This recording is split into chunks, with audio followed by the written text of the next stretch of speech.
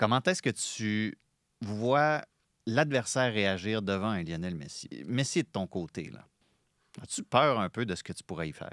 As-tu peur d'être le gars qui va péter la cheville de Lionel Messi? Non, forcément, c'est euh, tu peux pas faire euh, comme si c'était euh, c'était un joueur lambda, c'est pas vrai. Ça joue dans ta tête quand même.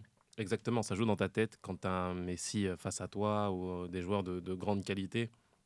Bah forcément, tu te prépares différemment. Tu sais que il y a tous ces enjeux-là, que tu seras beaucoup plus observé euh, euh, face à lui. Donc, euh, donc ça, c'est en, en- en amont du, du match.